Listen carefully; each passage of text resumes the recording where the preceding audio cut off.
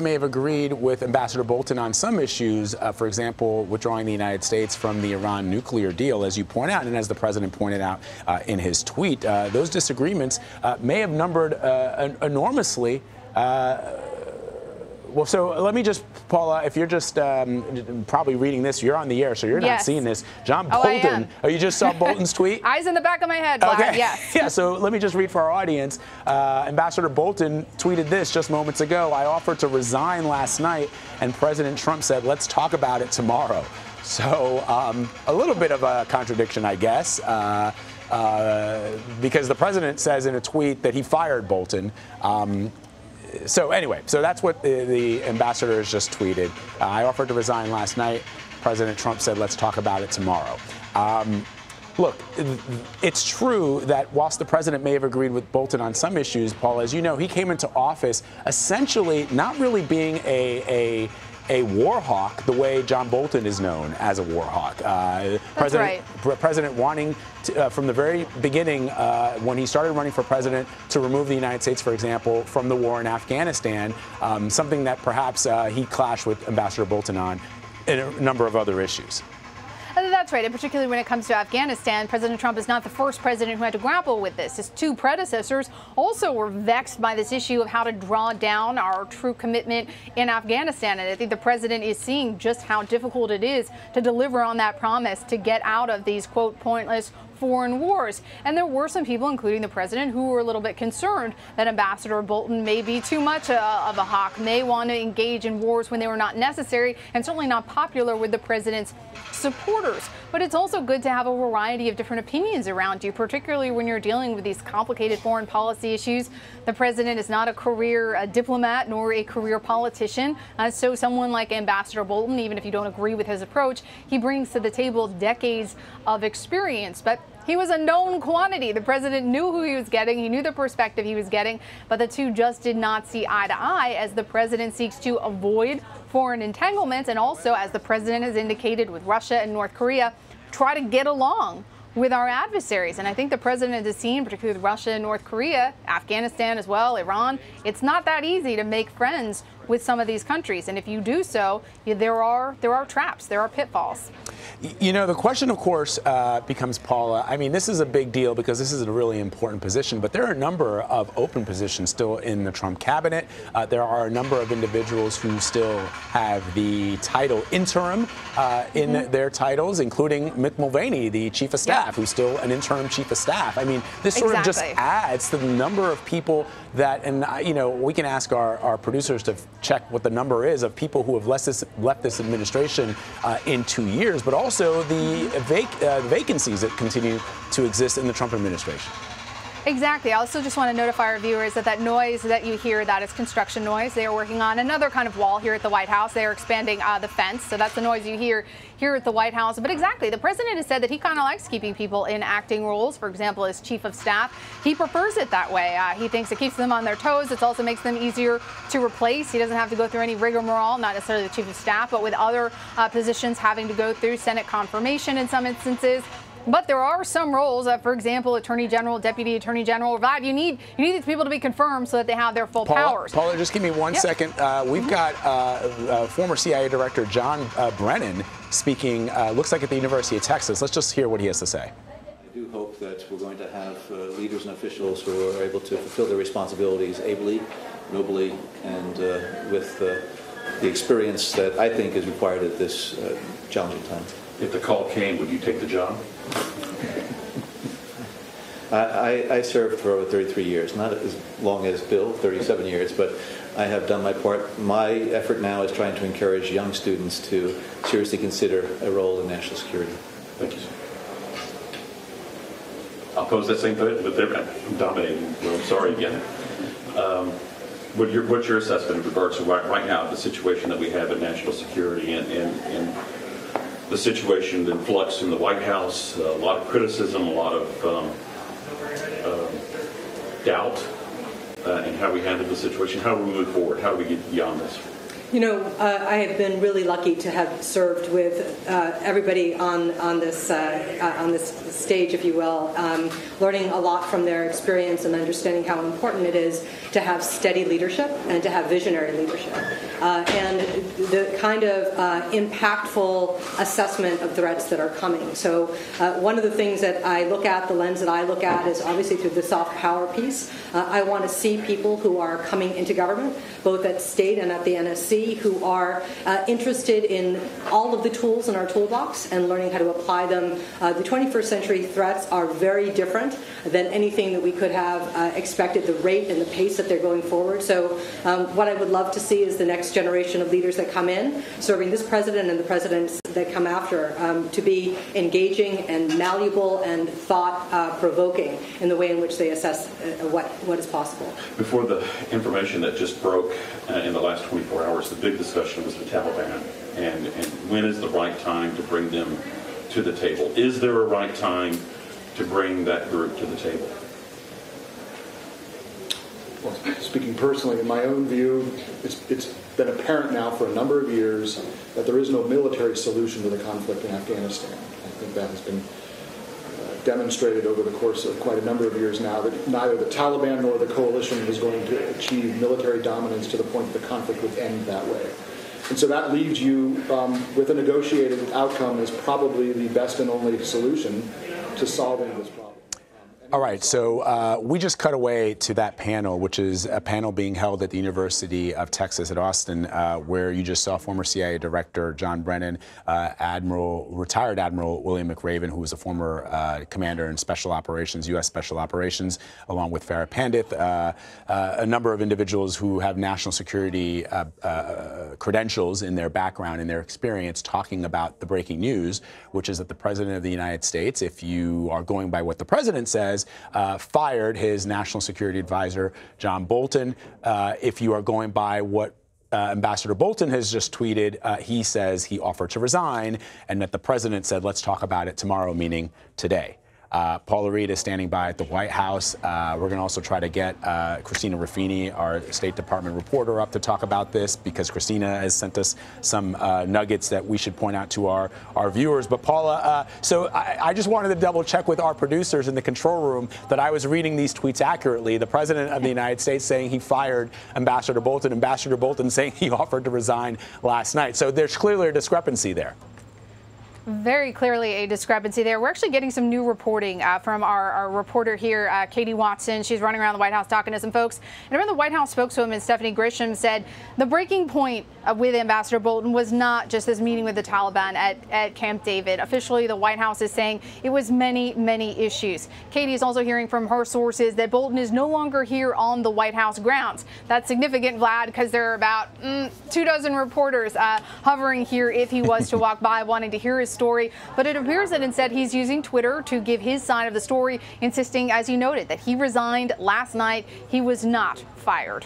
So it's, and of course, Paula, I mean, look, the news that the ambassador is no longer part of this administration is huge news. The, the, the challenge, I think, for you, other reporters, for us, is what's the truth here? Because you've got two individuals, uh, you know, telling their side of the story, and it's it's hard to know if we'll ever really know what actually happened. Was the ambassador fired, or did he offer to resign uh, last night uh, over these disagreements that the president says that they've had over over time? And I, I guess that's the challenge for all of you who are part of the White House press corps every day of my life, Vlad. It becomes a he said, he said. And look, there's no legal standard for, well, did you resign or get fired if you offered your resignation and the president didn't get back to you and then tweeted that you were fired? What is clear here, though, is that there were actual fundamental policy disagreements. We're getting more information in from our producer, Sarah Cook uh, and Arden Farhi, they're reporting that sources are telling them that the Security, National Security Council and the White House have effectively operated as separate entities hmm. uh, since John Bolton came in. We have certainly seen that, uh, again, in policy, in these disagreements over how to handle these key foreign policy issues. Uh, their sources are telling them that this was true even back when General Kelly uh, was the chief of staff. They're saying that John Bolton operated separately, separately and distinctly uh, from the White House. he often, according to their sources, didn't attend meetings meetings and followed his own initiatives. He was running his own show something that is a cardinal sin here at the Trump White House. Make no mistake about who is in charge, uh, who gets the credit, who gets really to, to have all the sunshine and, and all the say. It's Trump's White House, and anyone who runs afoul of that will find themselves fired yeah, or resigning. Uh, yeah, um, and you know, look, uh, I'm looking at a, a, piece filed by Peter Baker, a White House correspondent for the New York Times, uh, and in his reporting, he says at one point military officials expressed alarm at Mr. Bolton's request for contingency war plans. Now, uh, I find that really interesting. I know our Christina Ruffini is reporting that uh, Ambassador Bolton and the Secretary of State Mike Pompeo also clashed on a number, oh, yes. on a range of issues. Absolutely. She's completely right, particularly on the issue of North Korea, with Bolton's perspective and Bolton's approach eventually getting edged out uh, by the ambitious Secretary of State. Again, Mike Pompeo, though, is also particularly more uh, politically adept, uh, understands the president perhaps a little bit better, and is willing to do things his way, perhaps why he has been so successful and lasted so long in this administration. So, Paula, do you remember uh, when the ambassador, John Bolton, uh, joined the Trump administration, what the president said at the time? I'm trying to remember as we, as we try to process this breaking news, because it wasn't as if, uh, you know, there were certainly concerns leading up to the decision for the president to ask the ambassador to join um, yeah. the administration. And and people, uh, I remember, I seem to recall a lot of people saying President Trump's not going to do it, but then he did. You recall what the president said as to the reason why he wanted Ambassador Bolton to be part of his administration? I do not remember what the president said at the time, but yeah. John Bolton is a known entity within Washington. He's made no secret uh, of his his worldview, of his approach to a lot of these issues. So there were many folks who were surprised when they brought him in, because again, as you noted, he is is more hawkish. He brings a very clear-eyed, arguably skeptical view of many of our adversaries, which is very different than what the president has promised his supporters and the country he would be doing related to our adversaries. He says, quote, it would be great if we could get along with Russia or North Korea. He's made overtures uh, about this with Iran and most recently even inviting the Taliban to Camp David. Look, this is this is not the John Bolton playbook. So I think people were surprised when they brought him brought him on.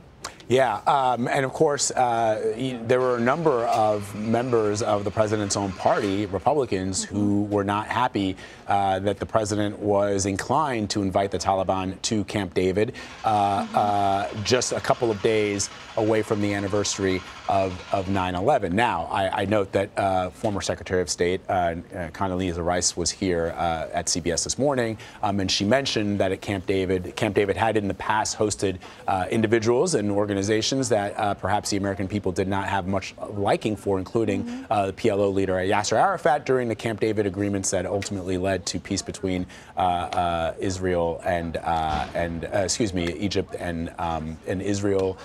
there was, but there have been a bunch of unsavory characters that have that have appeared, um, uh, sure, yeah. you know, in the United States. Uh, but uh, but but this was perhaps something else that uh, the ambassador and President Trump clashed on. Absolutely, and it really speaks to the difference between their strategies. The president, as he said just, just yesterday, speaking to, to reporters when, when he was leaving for North Carolina, he said he wanted to talk. He believed war was not the answer. And in order to extract the U.S. from these kinds of endless engagements, he said he wanted to negotiate. He said, look, the Taliban, what's wrong with bringing them there if I can save American lives? He did not get any questions uh, about why he would bring them there so close to the anniversary uh, of 9 11, but this is something that Ambassador Bolton did not think was a good idea. Again, uh, while the president seems to favor uh, negotiations to work through these differences with our adversaries, Bolton tended to err more on the side of military intervention, something more aggressive, defensive, uh, less collaborative, shall we say. Mm. All right, Paula, stand by. Uh, I'll give you a chance to digest the emails and uh, anybody who you may be talking to in the White House. Uh, stand by while we bring on a CBS News State Department and Foreign Affairs reporter Christina Ruffini. She's going to join us uh, and talk to me uh, over the telephone. Um, so, so Ruffini, I was just pointing out to to Paula that uh, that this this these secret Taliban talks that the president uh, canceled because of the attack on on uh, a, a, wedding that ultimately one American soldier was killed at a couple of days ago um, in Afghanistan was the reason the president cited for not hosting the Taliban at Camp David. I was pointing out that Condi Rice, and I was sort of uh, digesting everything, uh, pointed out that at Camp David there had been a lot of unsavory people during the Camp David Accords. Menachem Begin and Anwar Sadat tried to hammer out a peace. Uh, Yasser Arafat was there when uh, President Bill Clinton was trying to hammer out a, a deal between uh, the Palestinians and the Israelis. So it's not as if that hadn't happened before where we had some unsavory people at Camp David. But was what are you hearing about Ambassador Bolton and his position on those secret talks that the president was planning on having with the Taliban? Well, Ambassador Bolton has always been more hawkish than some other members of the administration, right? So Secretary Pompeo, um, you know, uh, the lead negotiator, Zalmay Khalilzad, works for the State Department, right? He works under the Secretary of State, which is Mike Pompeo. And it has been their opinion that, you know, everybody wants out of the war, but you got to do it smartly. And the way to do that is to have these talks. There have been nine rounds of talks. They've been going on for months. And the fear was always a little bit that, you know, the president would get impatient and pull the plug at the last minute and it would all be for naught but they seem to be going well. They had initial the framework of an agreement, and then came this idea to bring them to Camp David. Um, now, as you said, there have been unsavory characters at Camp David. There have been people who people consider terrorists at Camp David. It was a couple things. First of all, you know, it was having them here within days of them killing an American soldier on the anniversary, the week of 9 11. You know, those optics are really hard to surmount, even if you do negotiate this deal because you have to think about what kind of a deal it is, right? It's not a peace accord. The Taliban had never agreed to a permanent ceasefire throughout these negotiations. So it would have been the signing of agreement, but then you still have to go back and have an entire another round of peace talks between the Taliban and the Afghan government. So it wouldn't have even really settled anything. And I think that's why it was it was so controversial to begin with and it might have just blown open these long simmering divisions between Bolton, who is who was more aggressive and and less for diplomacy and more for U.S. getting involved where it needed to get involved, including in places like Venezuela, and Pompeo, who less so. Sorry, hang on one second, Christina. Um, just because uh, I know Paula has got to run, uh, so I just want to get one more question, or at least uh, Paula's thoughts before she does uh, head out um, and continue the reporting on the breaking news. If you're just joining us, which is uh, that depending on who you believe, the president of the United States says he fired uh, his national security advisor John Bolton. Ambassador Bolton tweeted that he offered to resign last night. Uh, so, Paula, um, what's next, I guess? We're going to have to find another NSA official, another head of the NSA. And it doesn't seem in two years into this administration that there might be a lot of takers out there, at least of the caliber that we've had historically in the United States. Well, you never know. He has been able to find some pretty high caliber people to fill jobs. For example, Jeff Sessions' successor, William Barr.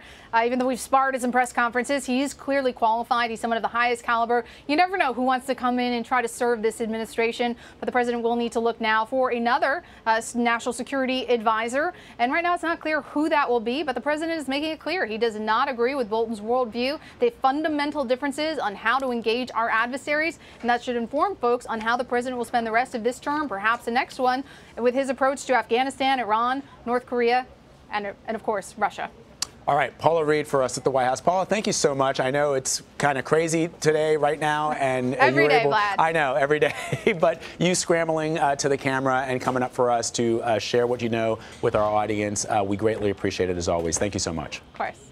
All right, let's go back to Christina Ruffini, who's our State Department reporter. She's still on the phone with us uh, to talk about all of this. Um, so, Ruffini, as you just heard uh, Paula saying, the, the, reality is that uh, although the president did ask the ambassador to join the administration and uh, become the head of the NSA, he'd always uh, had some fundamental disagreements. So, the question that Paul and I were sort of bantering about was why did he even want Bolton in the administration if there were so many issues that they fundamentally disagreed on? I think it, it was an ethos. You know, they, they both were very strong on America first, and um, you know, the, this image of America around the world and strength, and you know, kind of an unapologetic foreign policy. I think that's what they had in common. Um, but you know, Washington is a rumor mill, but there are rumors from the beginning that Trump has had problems with him. You know, he, everything from he you know, the president likes to get out of wars. Bolton tends to want to get involved, not necessarily in wars, but in military action. And all the way from, you know, very serious issues like that to, I heard someone say just yesterday that he hates his mustache and complains about it all the time. Um, right, I remember so that. It's, you know, the president is very big on people looking the part, and um, and Bolton in his opinion, according to various people, take that with a grain of salt, it didn't look the part. But they did have enough in common, especially at the onset, that he thought he would be uh, a good national security advisor. And look, Bolton was a loyal soldier. I think for the most part, he tried to carry out what he thought the president wanted or what he thought the president should want and was in the best interest of this very hawkish American first foreign policy. I know with Venezuela, um, you know, he had been the one pushing for more military intervention and to be tougher on Maduro and things like that. whereas others were saying like, you know, let's wait a minute, let's try more sanctions, let's let's try diplomacy, let's let's see if there are other ways to go about this before we invest more American blood and treasure in another place, uh, you know, around the world. You know, it's interesting too, Christina. Um, w- you know, as we try to uh, recall, you know, how the ambassador came uh, to be named the NSA director, uh, it was after the department of General H.R. McMaster. You'll recall uh, that a lot of people back then, uh, when H.R. McMaster was NSA director, sort of credited him as being sort of a moderating force on the president. But the reality seems to be that uh, the president was a moderating force on himself, and it was Ambassador Bolton who was coming to the table with some very, very, very, as you point out, hawkish views on a number of issues. Um, the title of his book, Ruffini, was "Surrender is Not an Option." Right. You know, he's not he's, he's not a not a timid figure, and he's a controversial figure, but you can't you can't say he's not clear about his views, and he is, for the most part, predictable and, and a constant, which in foreign policy can be a good thing. At least for the most part, you knew where John Bolton was coming from, right? He was for American right. values, American ideals, but he was no also and, cost, and, and one of the, there, get it done. And one of the things you you mentioned is this this relationship that he uh, had or did not have, I guess, with uh, the Secretary of State Mike Pompeo. Mike Pompeo is more in line, or at least uh, appears to be more in line with the president's views on a number of issues. As you, you are aware, he appeared on Face the Nation this weekend with Margaret Brennan, and he was basically in lockstep with the president on almost everything that he and Margaret talked about. Um, I know through your reporting that he and uh, Ambassador Bolton did not have the, the greatest of relationships. And part of that is sort of what you're saying, which is that Ambassador Bolton had this America First mentality, and he sort of had a, a disdain for international diplomacy, which is, of course, the job of the Secretary of State. Well, the interesting dichotomy there is Bolton hates international, you know, multilateralism, right? He hates these big, you know, giant, unwieldy alliances and all these things that he thinks get in, gets in the way of America doing what it needs to do. President Trump, in general, feels the same way about those organizations. However, where they differ is President Trump has held back in getting involved in a couple places that I think Ambassador Bolton would have liked America to be more hands in. Venezuela, again, comes to mind. So they were aligned ideologically, but when it came to the practicality of putting American troops in harm's way, it was the president who I think uh, was more reticent to do that, and that's more in line with Secretary Pompeo as well. You know, Secretary Pompeo went to West Point. He served uh, overseas uh, during the Cold War. He knows what it's like to be one of those guys on the front lines, and I think that makes a difference when you are talking about deploying people's kids and American citizens over to fight foreign wars because we've had a long history of that. I mean, Afghanistan is a, is a perfect example. It's been 18 years, mm. and we're still there. Mm. You know, um, it was only a few months after he became NSA director that the president uh, declared that he was withdrawing the United States from the Iran nuclear deal. And of course, that was seen as a signature uh, foreign policy achievement under uh, his predecessor, Barack Obama, President Barack Obama. Um, it, there was a sense clearly that Ambassador Bolton was against the deal even when uh, President Obama was pushing for it. And perhaps with joining the administration, this gave the president the, the final license or the final push that he needed to finally remove the United States so uh, from that deal. So it does seem I, I, on Iran, they agreed on a number of issues, but it seems like what you're saying with a number of other uh, hot spots around the world that they had some deep disagreements. Oh, I think Iran is one of the places they did see eye to yeah. eye, and I think that goes back to uh, you know Ambassador Bolton has a close relationship with Israel and uh, on policy, and and you know the the word with the JCPOA was the president wanted to pull out right away, but there were people in his administration, especially at the start of the administration, as you know, that were a bit more moderate and had kind of talked him down and said, you know, just wait, just wait, because it did take, you know, a year or so for him to pull out of that agreement.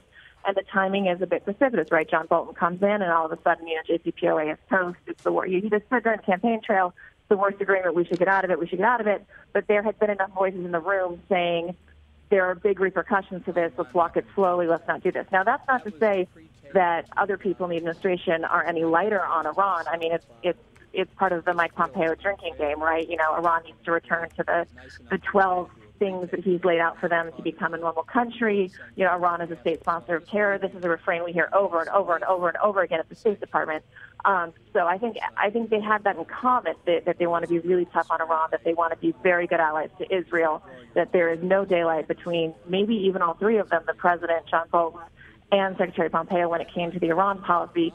It was those other policies that started to show some cracks, and eventually, with these two men jostling for power, it seems that Mike Pompeo has come out on on top as the uncontested survivor of uh, Trump administration cabinet officials. Mm. And uh, there was reporting uh, over the weekend, Christina, as you know, uh, that as the president was preparing for this high stakes meeting with Taliban officials, uh, uh, that that up until leading up until this weekend, that Bolton was not always featured in those meetings that the president was having on trying to deal with the situation in Afghanistan, that he was increasingly sidelined uh, from any kind of negotiation. Uh, even before this, this sort of so-called secret meeting, the president had been talking to officials in Afghanistan uh, about figuring out a way to finally end America's involvement in our longest war, and that Bolton was more or less sidelined, that this was the president of the United States, this was other national security officials uh, and defense officials, and the Secretary of State, Mike Pompeo.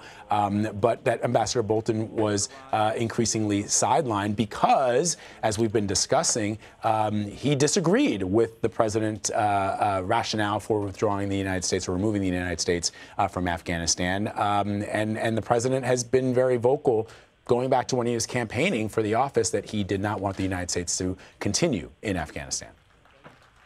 Well, and my understanding was he disagreed with the idea of talking to the Taliban. You know, it was more of a if you're going to get out, get out. But there's no reason to to try to have these talks for whatever reason. He just had he had been not a proponent of these negotiations with the Taliban, which, in his defense, are controversial and wrought with flaws. And a lot of people on both sides of the aisle have have problems with them. So that's not necessarily a, you know he's not alone. Bolton wasn't alone in disagreeing with this approach. However. Um, you know, for whatever reason, I don't have particular insight into how involved he was in this decision over the weekend, but I can say that would that would fit with some of the things we've been hearing about um, who's making these decisions and who's in the meetings and who's not. So, uh, uh, Christina, I just want to share um, from our White House reporter, Kathryn Watson, some more information that she's sending us right now. Uh, uh Stephanie Grisham, uh, the White House communications director slash press secretary, uh, has told the reporters that the president did ask for Ambassador Bolton's resignation last night, and it was delivered today. she didn't go into any possible replacements. Uh, I guess she was asked whether there was one final last straw that broke the camel's back, and she says there was not. Uh, she did say that there might be a resignation uh, resignation letter that uh, is made available to to the press, um, and uh, she confirms that Ambassador Bolton isn't there today. Uh, and there is a 1:30 briefing, uh, and I'm not clear as, as to uh, which briefing that is. If it's a if it's a press briefing or if it's a uh, State Department briefing? It's, is it a State uh, Department? My understanding is that it is it is a briefing uh, with Secretary Pompeo and some other figures at the White House to talk about new sanctioning powers. Now, earlier in the day, we had been told that Bolton might be at that press conference, but I'm assuming he will be elsewhere now. Uh, so, sorry, Christina, one more time. Did you say that there is a State Department briefing, or what, what is that 1:30 uh, briefing? Uh, it, it's at the White House. The Secretary, uh, uh, where it will be, um, other players will be at the White House Got giving it. a briefing, I, I believe, about sanctions. And we've heard that Ambassador Bolton might have been at that briefing, but we're assuming now he will be elsewhere. Got it, got it, got it. Um, so, Christina, the other uh, sort of interesting uh, question around all of this and national security and diplomacy um, is North Korea, right? North Korea just again recently fired more missiles uh, into the sky. Uh, the president in the past, in the last couple of weeks, has said he's okay with that. He doesn't feel that North Korea is violating the terms of their agreement. Uh, where did, I mean, I, I, don't even know if we've gotten any word from Pompeo or the State Department today on as to the most recent firing, uh, missile fires, uh, but where was Pompeo on, on North Korea and where was Bolton? I'm just seeking to sort of shed some light on some of those disagreements uh, that the two may have, because I sort of see Pompeo as also a proxy for the president, given that they're more in lockstep over many issues. Well, if you want to read the tea leaves, which at this point is a full-time occupation in D.C. these days, I mean, you could look at that meeting at the DMZ and notice very conspicuously who wasn't there, mm. and that's the National Security Advisor. Yeah, that's good. That's that, that's sorry. i I've got some people calling me while I'm while I'm talking to you on the phone. Yeah, no, that's um, I totally understand.